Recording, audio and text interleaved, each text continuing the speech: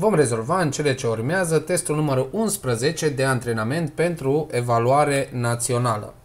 Și iată avem aici subiectul 1, unde după cum știm contează doar răspunsurile la cele șase întrebări. Să începem atunci cu prima dintre acestea, și anume rezultatul calculului 2 ori 10 minus 10 împărțit la, în paranteză avem 1 plus 4, este egal cu. În paranteză avem 1 plus 4, ceea ce este 5, iar 10 împărțit la 5 este 2. 2 ori 10 este 20, iar 20 minus 2 este 18. Deci rezultatul calculului de la punctul 1 este 18. Și mergem mai departe. Exercițiul numărul 2. Dacă 2a pe 9 este egal cu 4 supra 3b, atunci numărul a ori b minus 2 este egal cu. Acum, pentru a afla cât este a ori b minus 2, noi nu suntem obligați să-l aflăm pe a și pe b, ceea ce de altfel aici nici nu este posibil. Avem o nedeterminare. Noi trebuie să aflăm cât este a ori b. Și acel lucru se poate afla dacă avem 2a pe 9 egal 4 supra 3b, înseamnă că 2a ori 3b este egal cu 4 ori 9. Adică 2a ori 3b 6ab este egal cu 36. De unde ne rezultă că AB este egal cu 36 împărțit la 6, care este 6. Atunci, dacă noi știm că A ori B este 6, înseamnă că A ori B minus 2 este egal cu 6 minus 2 este egal cu 4. Așadar, răspunsul la cea de-a doua întrebare, răspunsul este 4. Și mergem mai departe la problema numărul 3. Suma pătratelor numerelor întregi din intervalul minus 1, 2 este egală cu. Care sunt numerele întregi din intervalul minus 1, 2? Adică minus 1, 2 intersectat cu z, adică mulțimea numerelor întregi, este mulțimea formată din care numere. Păi numerele întregi din acest interval sunt minus 1, 0 și 1. 2 nu aparține intervalului, întrucât intervalul este deschis la 2. Și atunci ceea ce ni se cere nouă este suma pătratelor numerelor întregi, deci suma pătratelor acestor numere. Adică minus 1 la a doua, plus 0 la a doua, plus 1 la a doua. Este egal cu minus 1 la a doua este 1, plus 0, plus 1, ceea ce ne dă 2. Așadar, suma pătratelor numerelor întregi din intervalul nostru este egală cu 2. Următoarea problemă, problema 4. Pătratul ABCD are latura de 5 cm. Perimetrul acestui pătrat este egal cu câți centimetri? Perimetrul pătratului se calculează folosind formula 4 ori L, 4 ori latura, întrucât toate laturile pătratului au aceeași lungime. Lungimea laturii este de 5 cm, deci va fi 4 ori 5, adică va fi egal cu 20 de centimetri. Așadar, avem răspunsul la această întrebare, 20 de centimetri. Și mergem mai departe la problema 5. Aici văd că ne întâlnim de data asta nu cu un cub, ci în sfârșit cu altceva, respectiv cu o piramidă triunghiulară VABC, cu înălțimea VO. Unghiul dreptelor VO și AB are măsura de câte grade? VO, fiind înălțimea piramidei, este perpendiculară pe planul bazei ABC.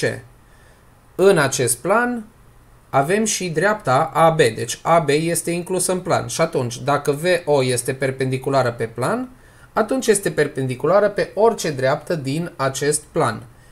Implicit, VO este perpendiculară pe dreapta AB. Dacă VO este perpendiculară pe AB, înseamnă că unghiul determinat de VO și AB este un unghi drept. Deci este un unghi cu măsura de 90 de grade. Și cu acestea fiind spuse, mergem mai departe la problema 6. Aici ne întâlnim, iată, cu o diagramă. În diagrama de mai jos, este prezentat profitul anual exprimat în mii de lei realizat de o firmă în fiecare dintre ultimii 5 ani. Conform informațiilor din diagramă, media profitului firmei pentru ultimii 5 ani este egală cu câte mii de lei. Pentru a obține media profitului firmei pe ultimii 5 ani, vom lua valorile care corespund profitului înregistrat de firmă în fiecare an. Și anume, în 2019, iată, avem un profit de 180.000 de lei. Deci aceasta este prima noastră valoare. 180.000 plus. Dar noi scriem 180 deoarece lucrăm în cunoștință de cauză asupra faptului că vorbim de fapt de 180.000 de lei. Este ca și când scriem 180K, unde K înseamnă mie, dar nu vom scrie K, deoarece nu este nevoie. Apoi, în 2018, profitul înregistrat de firmă este de 140.000 de lei. Plus, mai departe, 100.000 de lei cât s-a încasat în 2017. În 2016 profitul a fost de 80.000 de lei, iar în 2015 avem un profit de 60.000 de lei.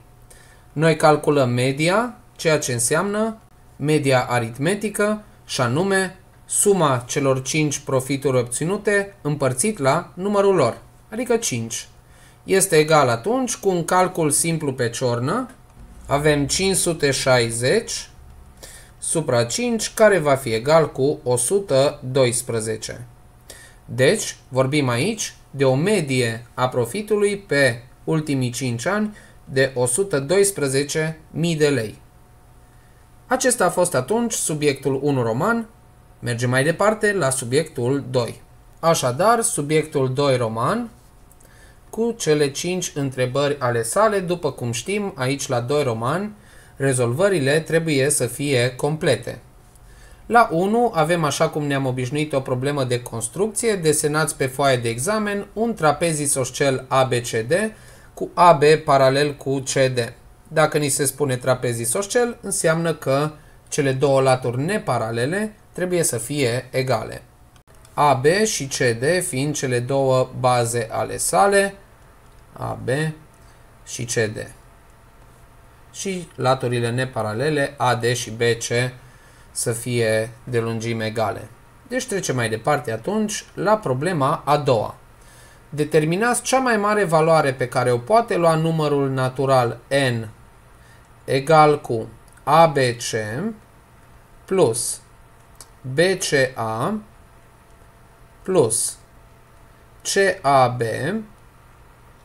știind că A, B și C sunt cifre distincte. Aceasta este o problemă care face trimitere la problemele cu scrierea și citirea numerelor naturale din clasa a 5-a.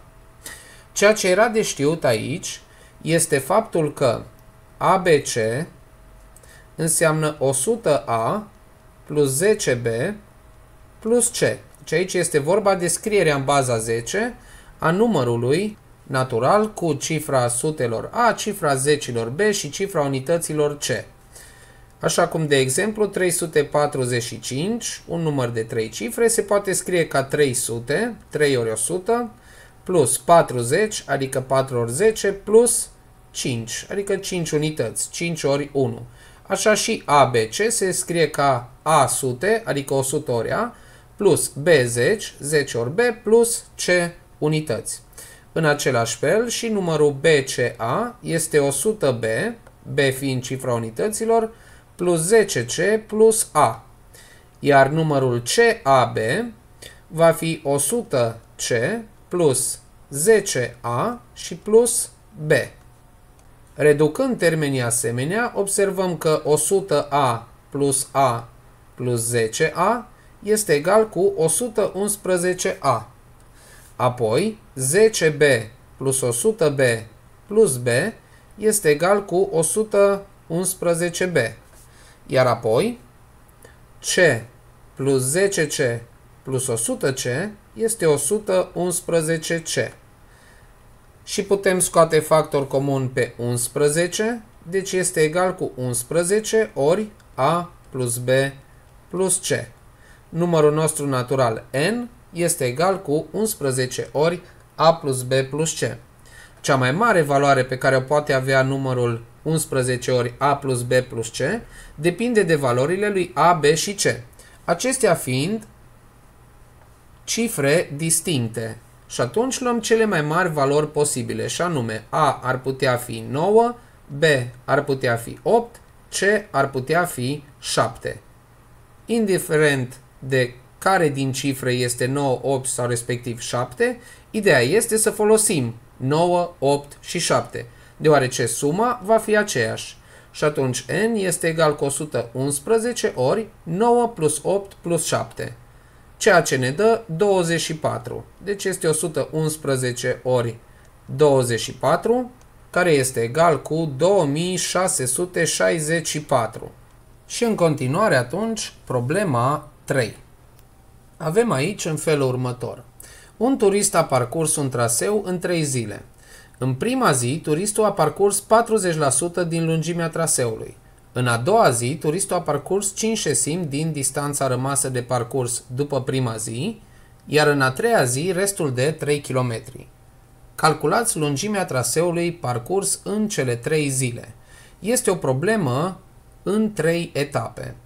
Și atunci, pe fiecare din aceste etape, o vom scrie matematic, cu ghilimelele de rigoare. Deci ce s-a întâmplat? În prima zi, deci hai să zicem în ziua 1, turistul a parcurs 40% din lungimea traseului. Întrucât nu cunoaștem lungimea traseului, vom nota lungimea traseului cu X. Deci în prima zi s-au parcurs 40% din lungimea traseului, adică din X. În a doua zi a parcurs 5 șesimi din distanța rămasă de parcurs după prima zi. Și atunci, în a doua zi a parcurs 5 șesimi din din cât? Pentru a vedea din cât, trebuie să vedem ce ne rămâne de parcurs după ce am parcurs distanța din prima zi. Dacă am parcurs 40% din X, ne rezultă că rămân de parcurs, să zicem restul de parcurs, va fi de 60% din X. Deci în a doua zi a parcurs 5 șesimi din 60% din traseu, adică din X. Iar în cea de-a treia zi a parcurs restul de 3 km. Deci, în ziua 3 a parcurs restul care este de 3 km. Bun. Care este restul? Păi să vedem ce s-a întâmplat după cea de-a doua zi. În cea de-a doua zi, el a parcurs 5 șesimi din ceea ce mai rămăsese de parcurs, adică din restul de 60% din drum. Dacă în a doua zi a parcurs 5 șesimi din 60% din X, atunci au mai rămas de parcurs, deci restul care i-a rămas de parcurs este de o șesime din aceeași cantitate, din 60% din X. Deci dacă a parcurs 5 șesimi, mai are de parcurs o șesime din aceeași distanță. Ceea ce înseamnă că restul acesta de 3 km este de fapt o șesime din și pe din îl înlocuim cu ori, 60% adică 60 pe 100 din drum, adică ori drumul, ori x. Așadar, ajungem atunci la ecuație. 3 este egal cu 1 pe 6 ori 60 pe 100 ori x. Efectuăm simplificările. 60 și 6 se simplifică cu 6, ne rămâne 10, care se simplifică cu 100, ne rămâne 10 la numitor. Obținem atunci că 1 pe 10 ori x, deci 1 pe 10 x este egal cu 3, de unde ne rezultă faptul că x este egal cu 3 ori 10, 30 de kilometri.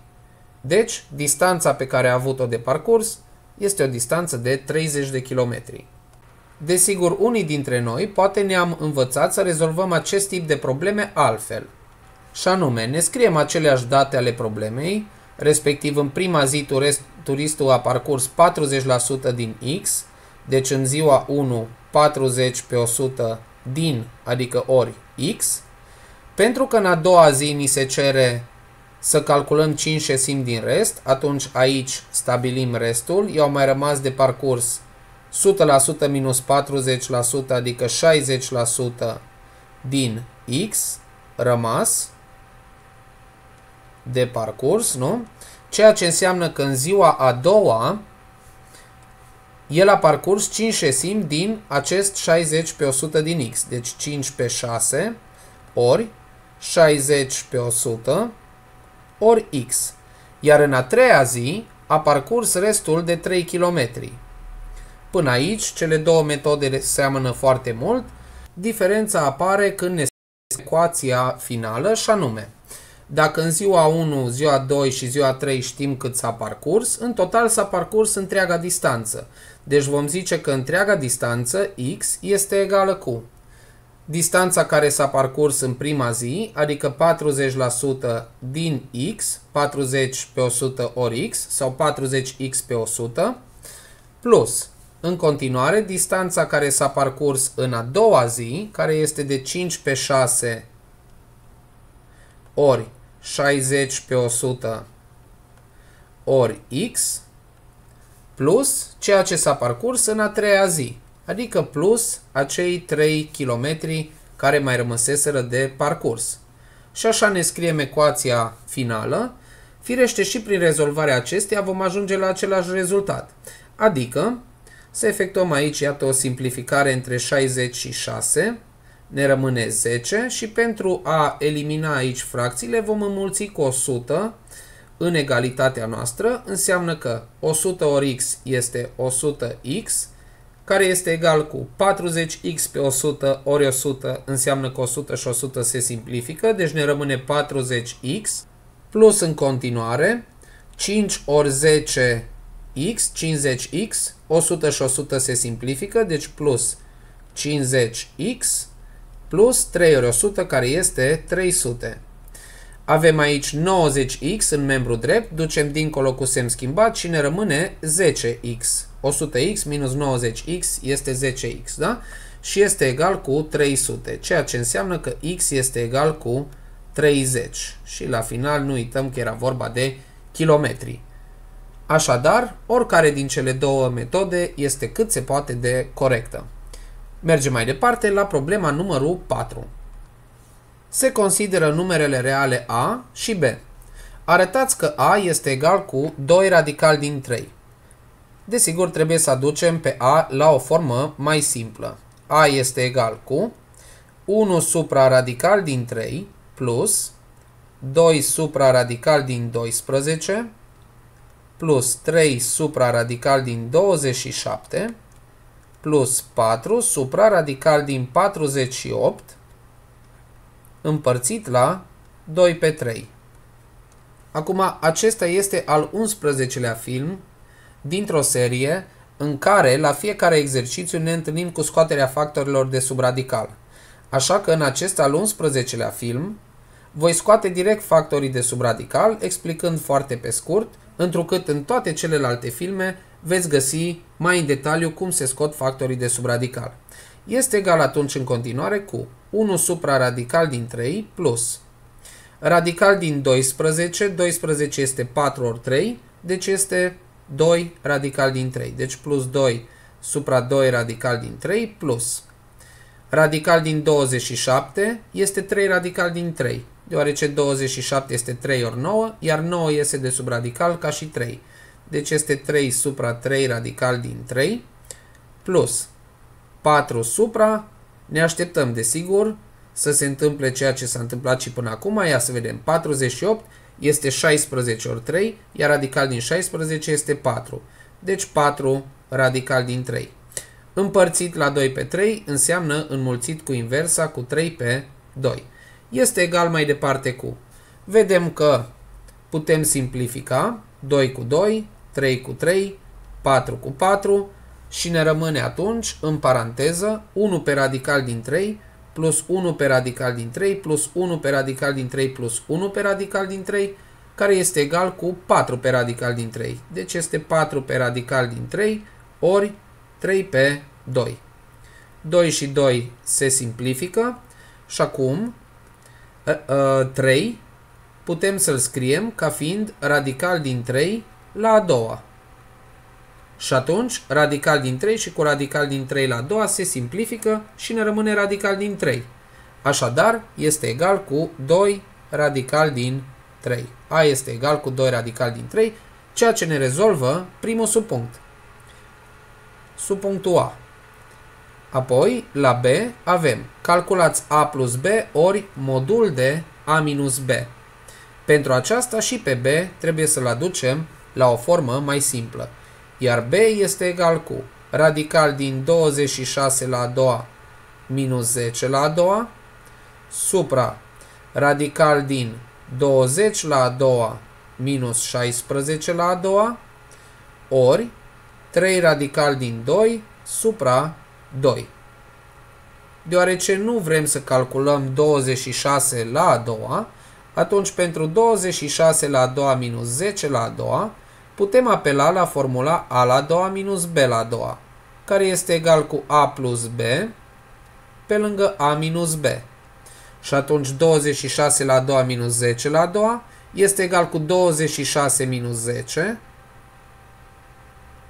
pe lângă 26 plus 10, care este egal cu 26 minus 10 este 16 ori 36. Iar radical din 16 ori 36, deoarece noi avem radical din 26 la 2 minus 10 la 2, este egal cu radical din 16, adică 4, ori radical din 36, adică 6. Este egal cu 24. Așadar, B este egal cu 24 supra. Același lucru îl putem face și pentru 20 la 2 minus 16 la 2, dar aici este ușor de calculat. 20 la 2 este 400, 16 la 2 este 256, iar diferența lor este 144. Radical din 144 este 12. Ori 3 radical din 2 supra 2. Efectuăm simplificările. 24 cu 2 se simplifică cu 2, ne rămâne 12 și iată că 12 și 12 se simplifică și ne rămâne 1, așadar rezultatul acestui calcul este 3 radical din 2. Avem atunci că A este egal cu 2 radical din 3 și B este egal cu 3 radical din 2 și noi trebuie să calculăm produsul dintre A plus B și modul de A minus B. Să înlocuim atunci, avem A plus B, adică 2 radical din 3 plus 3 radical din 2, pe lângă modul de A minus B, adică modul de 2 radical din 3 minus 3 radical din 2.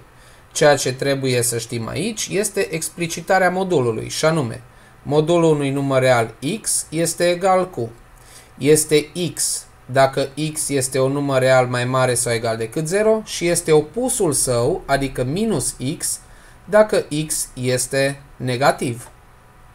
Ce înseamnă acest lucru? Înseamnă pentru modulul nostru din 2 radical din 3 minus 3 radical din 2 că trebuie să studiem semnul numărului din modul, adică lui 2 radical din 3 minus 3 radical din 2. Cum putem face acest lucru? Deoarece e vorba de o diferență, trebuie să vedem care este mai mare, descăzutul sau scăzătorul. Adică să comparăm cele două numere, 2 radical din 3 și 3 radical din 2. Dacă introducem factorii sub radical, 2 radical din 3 este radical din 4 ori 3, 12. 3 radical din 2 este radical din 9 ori 2, 18. Radical din 12 este mai mic decât radical din 18 ceea ce înseamnă că 2 radical din 3 este mai mic decât 3 radical din 2. Iar dacă 2 radical din 3 este mai mic decât 3 radical din 2, atunci în modul noi avem un număr negativ. Ce înseamnă faptul că în modul avem un număr negativ? Înseamnă că modulul numărului este egal cu opusul său. Adică nu vom avea 2 radical din 3 minus 3 radical din 2, ci vom avea că este egal cu minus 2 radical din 3 minus 3 radical din 2 iar minus în fața parantezei schimbă semnul termenilor. Deci este egal cu minus 2 radical din 3 plus 3 radical din 2. Sau se poate scrie și astfel. 3 radical din 2 minus 2 radical din 3. Revenind atunci la produsul nostru, produsul nostru este 2 radical din 3 plus 3 radical din 2 ori, paranteză, nu mai avem modul, deoarece știm că modulul ne dă 3 radical din 2 minus 2 radical din 3, deci în paranteză 3 radical din 2 minus 2 radical din 3. Ne întoarce la formula noastră a plus b ori a minus b. Iată a plus b, 3 radical din 2 plus 2 radical din 3, ori a minus b, 3 radical din 2 minus 2 radical din 3, ceea ce este egal cu, după cum știm, a la a doua minus b la a doua, adică 3 radical din 2 la a doua minus 2 radical din 3 la a doua. 3 radical din 2 la 2 este 9 ori 2, 18, minus 2 radical din 3 la 2, 4 ori 3, 12. 18 minus 12 este egal cu 6. Și putem atunci să trecem mai departe la exercițiul 5. Aici avem o expresie e de x este egal cu x pe lângă 3x minus 2 la a doua minus 2 pe lângă x pătrat minus 2x ori 3x minus 2 plus x pe lângă x pătrat minus 4x plus 4. Trebuie să arătăm că pentru orice număr real a, e de minus a plus e de a este egal cu 0. Dar pentru aceasta trebuie să aducem expresia noastră la o formă mai simplă. Așa cum ne-am obișnuit și în celelalte modele, această formă mai simplă se obține efectuând calculul algebric. Dar aici putem observa niște repetiții și anume 3x minus 2 la a doua și 3x minus 2. Iar apoi x pătrat minus 4x plus 4, care dacă suntem atenți, x pătrat minus 4x plus 4 este x pătrat minus 2 ori 2 ori x plus 2 la a doua. Acesta este x pătrat minus 4x plus 4, care ne trimite la formula a la a doua minus 2 ori a ori b plus b la a doua, care este egal cu a minus b, totul la a doua. Atunci, x pătrat minus 4x plus 4, care este x la a doua minus 2 ori 2 ori x plus 2 la a doua, este egal cu x minus 2, totul la a doua. Deci aici avem x pe lângă x minus 2 la a doua. Apoi, dacă ne uităm la termenul din mijloc, este 2 ori x pătrat minus 2x ori 3x minus 2. x pătrat minus 2x este singurul pe care nu-l vedem și la ceilalți doi termeni, dar ce putem face cu x pătrat minus 2x este să scoatem factor comun pe x. Dacă scoatem factor comun pe x, am avea x pe lângă x minus 2. În continuare, ori 3x minus 2 și apoi ceilalți termeni și nu-l uităm pe 2. Deci este 2 ori x ori x minus 2 ori 3x minus 2. Expresia noastră e de x ar fi atunci x pe lângă 3x minus 2 la a doua minus 2x ori x minus 2 ori 3x minus 2 plus x pe lângă x minus 2 la a doua. Ce putem observa este faptul că x se poate scoate factor comun. Dacă îl scoatem pe x factor comun, ar fi x pe lângă. Și punem în paranteză, ia să vedem ce am avea, am avea 3x minus 2 la a doua minus 2 pe lângă 3x minus 2 pe lângă x minus 2 e același lucru cu x minus 2 pe lângă 3x minus 2 plus x minus 2 la a doua. Și închidem această paranteză. Ne uităm la aceeași formulă. a la a doua minus 2 ori a ori b plus b la a doua este a minus b totul la a doua. Așadar, în paranteza dreaptă avem a la a doua minus 2 ori a ori b plus b la a doua, care este egal cu a minus b totul la a doua, unde a este 3x minus 2 și b este x minus 2. Deci este egal mai departe cu x pe lângă a minus b, adică 3x minus 2, minus b este x minus 2 și suntem atenți, este minus în fața lui x minus 2, care este minus x plus 2, totul la a doua. Ceea ce este egal cu x pe lângă, 3x minus x este 2x, minus 2 plus 2, iată acum observ, este 0. Deci 2x totul la a doua. Atunci este egal cu x ori 4x la a doua, care este egal cu 4x la a treia. Firește că acest rezultat se putea obține și pur și simplu prin calcul algebric. Doar că dacă vedem că se pot efectua aceste artificii de calcul și să folosim formulele de calcul prescurtat pentru a avea o soluție mai elegantă, atunci putem desigur să o facem. Acum, ceea ce trebuia să facem este să arătăm că e de minus a plus e de a este egal cu 0 oricare ar fi a un număr real. Noi știm că e de x este egal cu 4x la a treia.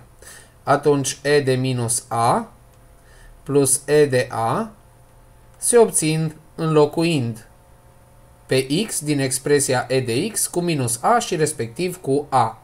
Deci e de minus a va fi egal cu 4 ori minus a la puterea a treia. Iar e de a este egal cu 4a la treia.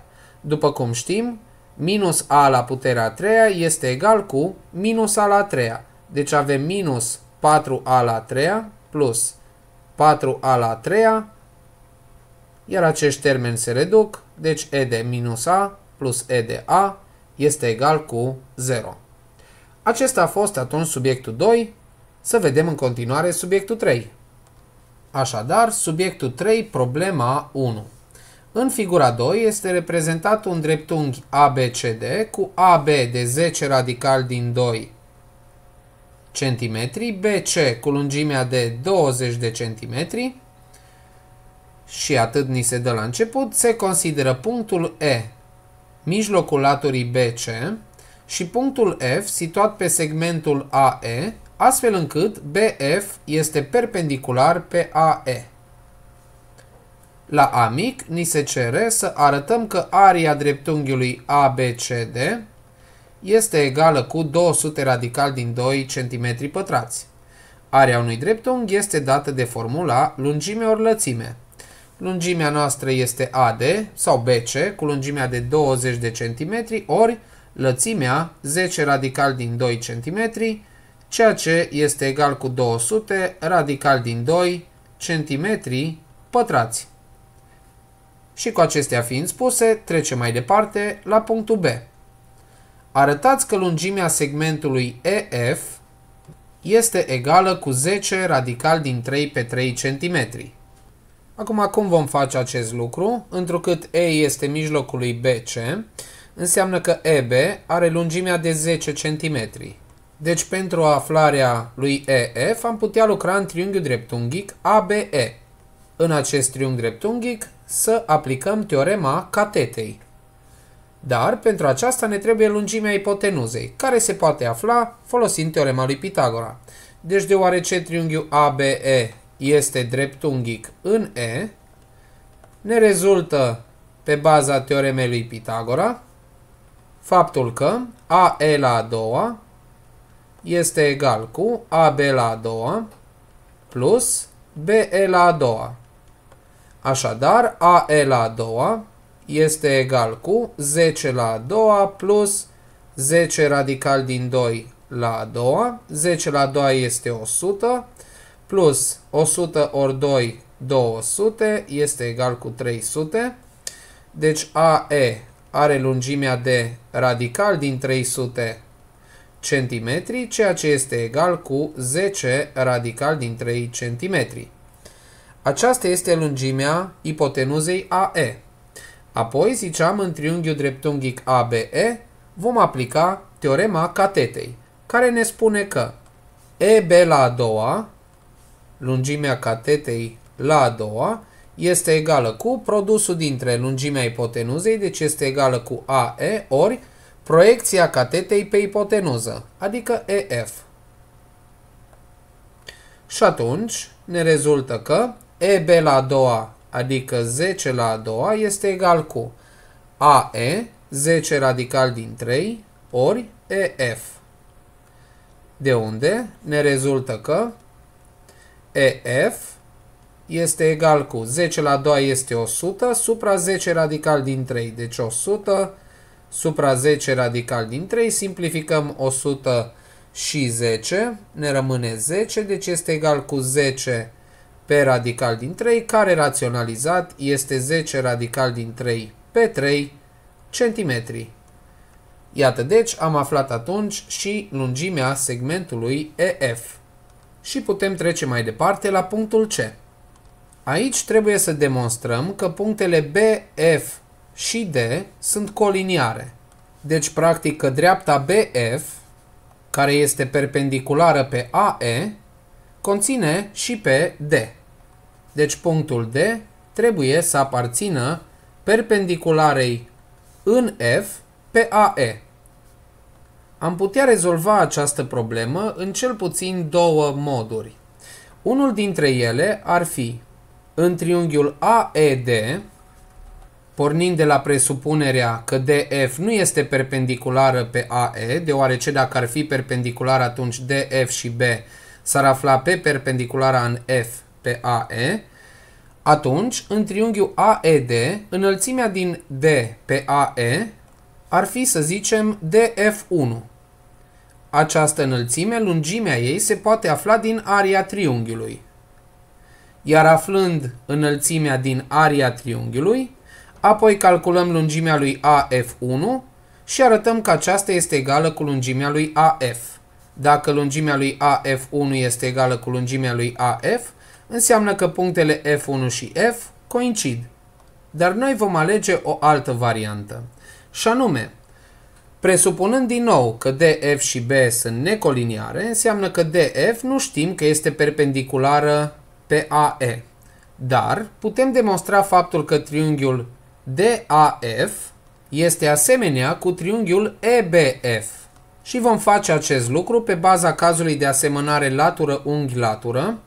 Unghiul care este congruent de la un triunghi la celălalt este unghiul FEB, congruent cu unghiul DAF, întrucât EB este paralelă cu DA, iar AE este o secantă deci sunt unghiuri alterne interne, iar apoi vom arăta faptul că AD supra EB este egal cu AF supra FE, ceea ce ne va da cazul de asemănare latură-unghi-latură.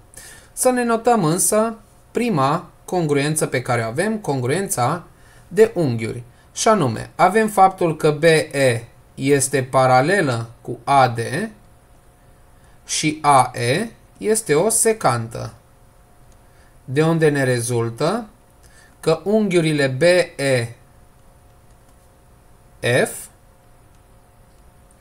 și cu FAD sunt congruente, fiind unghiuri alterne interne. Vom nota această primă observație cu 1. Mai departe, vom vrea să verificăm dacă AD din triunghiul verde, ipotenuza, presupunem, din triunghiul verde, este supra EB, este egal cu AF supra FE. Dacă acest lucru se adeverește, atunci avem cazul de asemănare latură-unglatură.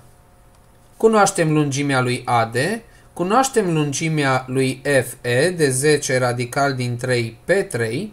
Lungimea lui AF este simplu de aflat, deoarece cunoaștem lungimea lui AE, așa că o vom face. Deci știm că AE are lungimea de 10 radical din 3 cm și că FE are lungimea de 10 radical din 3 pe 3 cm. Deci ne rezultă că AF are lungimea egală cu diferența dintre cele două, 10 radical din 3 minus 10 radical din 3 pe 3 este egal cu, amplificăm cu 3, 30 minus 10, 20 radical din 3 pe 3 cm. Aceasta este deci lungimea lui AF, 20 radical din 3 pe 3. atunci vom verifica dacă laturile sunt proporționale. Adică AD supra EB egal cu AF supra FE este echivalent cu, înlocuim cu valorile pe care le-am obținut, AD 20 supra EB 10 este egal cu AF 20 radical din 3 pe 3 supra EF 10 radical din 3 pe 3 20 cu 10 se simplifică, ne rămâne 2, deci este echivalent cu 2, este egal cu, ia să vedem, radical din 3 cu radical din 3 se simplifică, de asemenea și 3 cu 3 se simplifică, iar 20 cu 10 se simplifică rămânându-ne 2. Deci 2 este egal cu 2, o propoziție matematică cât se poate de adevărată, de unde ne rezultă această egalitate, această proporție AD supra EB este egal cu AF supra EF. Și această relație o notăm cu 2. Avem laturi proporționale și unghiurile cuprinse între aceste două perechi de laturi congruente. Deci, pe baza cazului de asemănare din 1 și 2, pe baza cazului de asemănare latură-unghi-latură, ne rezultă că cele două triunghiuri AFD și EFB sunt asemenea, de unde ne rezultă că și unghiurile triunghiului AFD sunt respectiv congruente cu unghiurile triunghiului EFB. Deci rezultă faptul că unghiul care se opune lui AD cu lungimea de 20 este congruent cu unghiul care se opune lui EFB cu lungimea de 10 cm. Deci rezultă că AFD este congruent cu EFB. Cu alte cuvinte, rezultă că AFD are măsura de 90 de grade, ceea ce înseamnă că DF este perpendiculară pe AE. Dar noi știm de asemenea că în F avem BF perpendiculară pe AE. Iar în punctul F nu putem duce două perpendiculare diferite pe AE. Deci ne rezultă atunci faptul că dreapta BF și cu dreapta DF coincid. Adică ne rezultă faptul că punctele B, F și D sunt puncte coliniare, ceea ce ne rezolvă problema 1. Și mergem mai departe la problema a doua. Problema 2. În figura 3 este reprezentat un tetraedru ABCD cu AB, AC și AD egale cu lungimea de 10 cm. Triunghiul BCD este echilateral cu perimetru de 30 de cm iar punctele M și N sunt mijloacele segmentelor BC și respectiv AD. La punctul A mic, ceea ce ni se cere este să arătăm că perimetrul triunghiului ABC este egal cu 30 de centimetri. Păi perimetrul triunghiului ABC este suma lungimilor laturilor triunghiului ABC, adică este AB plus AC plus BC. Am acum aflăm lungimea laturii BC, Știm că triunghiul BCD este echilateral și perimetrul lui BCD este de 30 de centimetri. Dacă perimetrul lui BCD, care este un triunghi echilateral, este de 30 de centimetri, înseamnă că lungimile laturilor BC, CD și BD sunt egale și egale cu 10 cm ca lungime. Deci, Tetraedrul nostru este de fapt un tetraedru regulat. Toate muchile au aceeași lungime și anume 10 cm. Deci perimetrul triunghiului ABC, revenind la el, va fi 10 plus 10 plus 10, adică 3 ori 10 egal cu 30 de centimetri. Continuăm atunci cu punctul B. Demonstrați că dacă P este mijlocul segmentului BD, atunci dreapta MP este paralelă cu planul ACD. Cum demonstrăm că o dreaptă este paralelă cu un plan? Demonstrăm că este paralelă cu o dreaptă din acel plan. Și paralelismul este foarte la vedere. Avem faptul că M este mijlocul lui BC, P este mijlocul lui BD, deci MP este linie mijlocie în triunghiul BCD. Iar linia mijlocie MP va fi atunci paralelă cu latura CD. Dacă este paralelă cu latura CD, iar dreapta CD este inclusă în planul ACD, atunci MP este paralelă cu planul. Ne scriem aceste observații. M este mijlocul lui BC, P este mijlocul lui BD, ni se dă aici la punctul B mic, de unde rezultă că M, P, este linie mijlocie în triunghiul care are calaturi pe BC și BD, adică în triunghiul BCD. De unde rezultă faptul că MP este paralelă cu CD, iar CD este o dreaptă care este inclusă în planul ACD. De unde rezultă faptul că MP este paralelă cu planul ACD, ceea ce ne rezolvă punctul B. Și trecem mai departe la punctul C. Demonstrați că unghiul dreptelor AB și MN are măsura egală cu 45 de grade. Este vorba aici de stabilirea măsurii unghiului determinat de două drepte necoplanare. Și cum se află unghiul determinat de două drepte necoplanare? Ne trebuie o paralelă la una din drepte care să o intersecteze pe cea de-a doua. Și din moment ce asta implică încă o construcție ajutătoare, vom reface acest desen pentru a ne putea concentra pe ceea ce contează, unghiul determinat de dreptele AB și MN. Vom construi atunci o paralelă la dreapta AB care să intersecteze dreapta MN. Cum vom face acest lucru? Alegem un punct R care să fie mijlocul segmentului AC. Atunci, deoarece M este mijlocul lui BC și R este mijlocul lui AC, înseamnă că MR este linie mijlocie în triunghiul ABC, ceea ce înseamnă că MR este paralelă cu AB. Atunci, unghiul determinat de dreptele AB și MN va fi egal cu unghiul determinat de dreptele MR și MN, adică cu unghiul RMN. Pentru a afla măsura acestui unghi, vom lucra în triunghiul MRN și vom încerca să stabilim natura acestui triunghi. Ce fel de triunghi este MRN? Isoscel este ușor de arătat deoarece MR, ziceam că este linie mijlocie, deci va fi paralelă cu AB și egală cu jumătate din lungimea lui AB. Lungimea lui AB este de 10 cm, deci a lui MR va fi de 5 cm și același lucru se poate arăta și despre RN, care este linie mijlocie în triunghiul ACD, deci va fi paralelă cu CD și va avea lungimea egală cu jumătate din lungimea lui CD, deci de 5 cm.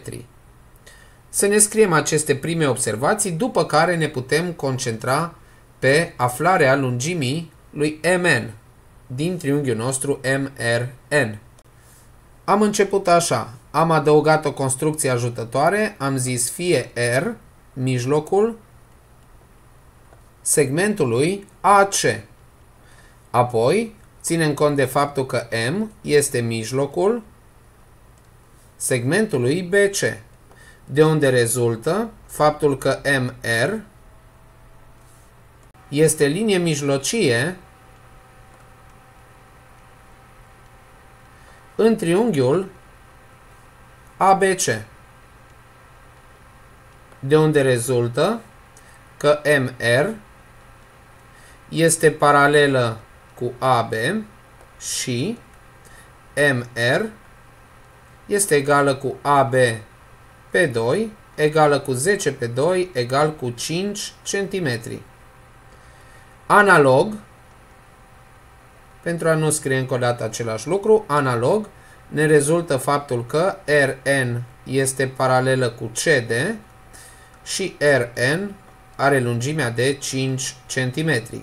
Deci, deocamdată, triunghiul nostru MRN este un triunghi isoscel. Noi vrem să ajungem să arătăm că măsura unghiului RMN este de 45 de grade.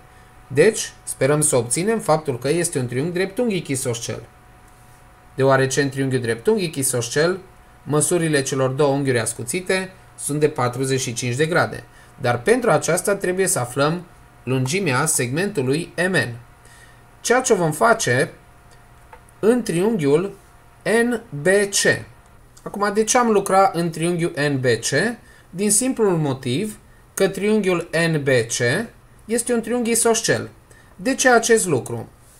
Dacă ne uităm în triunghiul ACD, care știm că este un triunghi echilateral, întrucât laturile sale toate au lungimea de 10 cm, CN este mediană, deci este și înălțime, iar înălțimea se poate afla aplicând formula latură radical din 3 pe 2. Latură radical din 3 pe 2 ne va conduce la 10 radical din 3 pe 2, care este egal cu 5 radical din 3. Deci lungimea lui CN este de 5 radical din 3. Apoi și BN are aceeași lungime, deoarece triunghiul ABD este de asemenea echilateral, N este mijlocul lui AD, deci BN este mediană și atunci BN va fi și înălțime într-un triunghi echilateral congruent cu triunghiul ACD. BC știm că are lungimea de 10 cm. Acest triunghi NBC este un triunghi isoscel, în care NM este mediană. Fiind mediană, este și înălțime. Deci, dacă este și înălțime, putem afla lungimea lui MN din triunghiul dreptunghic MCN. Să ne notăm atunci în demonstrație. Ziceam faptul că triunghiul ACD este echilateral, N este mijlocul lui AD, de unde rezultă că CN este mediană, de unde rezultă că CN este și înălțime.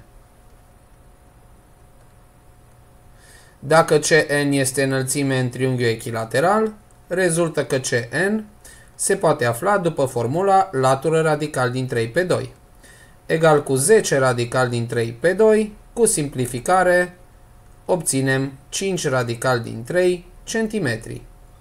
Aceasta este lungimea lui CN. Analog,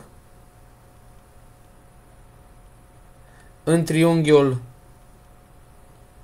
echilateral ABD, avem că BN este mediană, deci este și înălțime, deci BN are lungimea de 5 radical din 3 cm. Atunci vom lucra în continuare în triunghiul BNC, care este un triunghi isoscel. Deci vom zice faptul că BN fiind egal cu CN egal cu 5 radical din 3 cm, rezultă că triunghiul BNC este isoscel. În acest triunghi BNC isoscel, M este mijlocul laturii BC, de unde rezultă faptul că MN este mediană și triunghiul fiind isoscel, rezultă că MN este înălțime. Adică MN este perpendiculară pe BC, ceea ce ne conduce la a spune că triunghiul MNC este dreptunghic. Și dacă triunghiul nostru MNC este dreptunghic, vom aplica teorema lui Pitagora, care ne zice că NC la a doua este egal cu mc la a doua plus mn la a doua. Iar noi dorim să-l aflăm pe mn la a doua, ceea ce înseamnă că mn la a doua va fi diferența dintre cele două. nc la a doua este 5 radical din 3 la a doua, minus mc la a doua, mc are lungimea de 5 cm, deci minus 5 la a doua, este egal cu 25 ori 3, 75 minus 25, deci mn are lungimea de 50 sub radical, radical din 50 cm, scoatem factorii de sub radical, este 5, radical din 2 cm. Punem cap la cap tot ceea ce știm despre triunghiul MRN. Triunghiul MRN este un triunghi isoscel în care MR este egal cu RN egal cu 5 cm și MN are lungimea de 5 radical din 2 cm. Dacă verificăm dacă se aplică teorema lui Pitagora și se confirmă, atunci triunghiul nostru este dreptunghic. Așadar, verificăm dacă mn la a doua este egal cu mr la a doua plus rn la a doua. mn la a doua este 5 radical din 2 la a doua, care este egal cu 5 la a doua plus 5 la a doua. 25 ori 2 este 50, egal cu 25 plus 25, ceea ce este cât se poate de adevărat, deci rezultă, conform reciprocei teoremei lui Pitagora, faptul că triunghiul nostru, MRN, este nu doar un triunghi isoscel, ci și un triunghi treptunghic isoscel. Desigur, cu măsura lui R de 90 de grade, întrucât ipotenuza este Mn. Așadar, dacă este un triunghi dreptunghic isoscel, rezultă că măsura unghiului RMN este de 45 de grade. Cum am ajuns la unghiul RMN? Am construit o paralelă la AB care se intersecteze pe MN. Măsura unghiului dintre această paralelă la AB și MN este egală cu măsura unghiului determinat de MN și AB. Deci rezultă că măsura unghiului determinat de dreptele MN și AB este de 45 de grade, ceea ce ne rezolvă subiectul 3, problema 2. Mult succes în continuare!